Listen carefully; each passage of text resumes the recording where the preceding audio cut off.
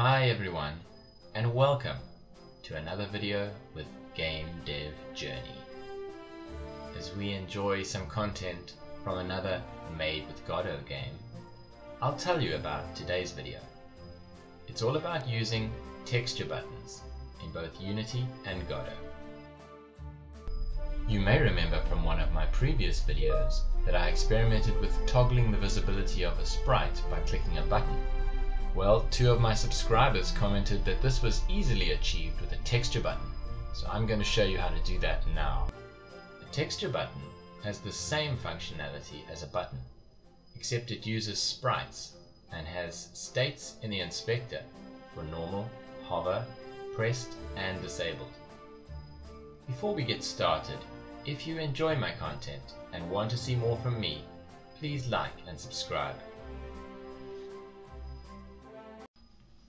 So to add a texture button in Godot, we are going to add a new node, texture button, and we're going to find an image for it. You can see I have some preloaded. And we're going to add the image to the texture button's normal state. Now for the pressed state we're going to click on new image and we're actually going to add an empty image.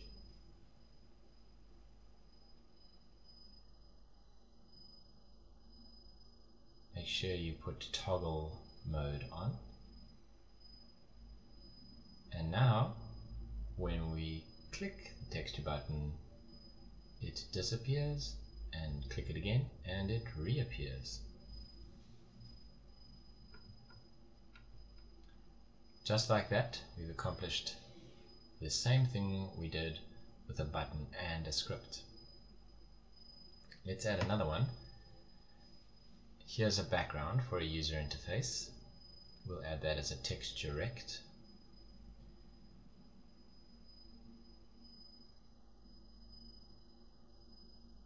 Now we'll just create a little mock user interface here.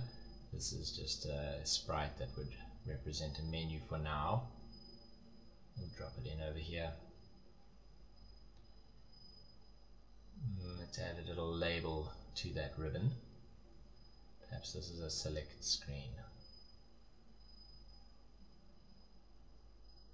Now let's imagine we want a textured button on this little menu We'll add another texture button and we have four states for the button let's add the blue to the normal.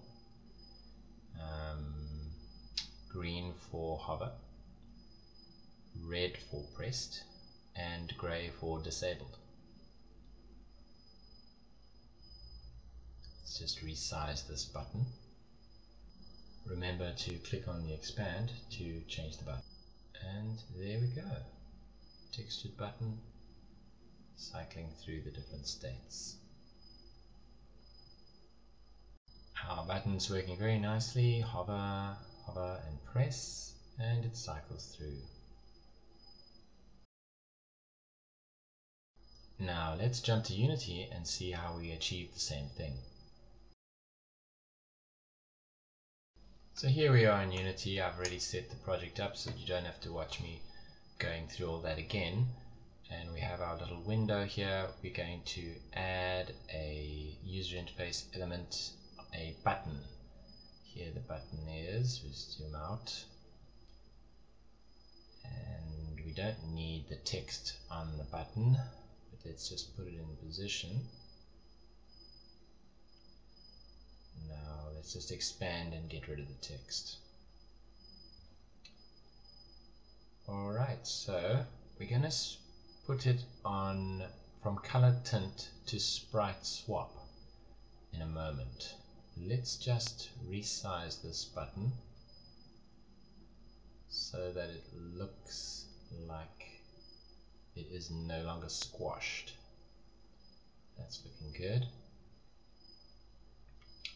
Now change color tint to sprite swap and now we have our states again. Normal, pressed, hover, and disabled. Let's drag our images in. And test it out.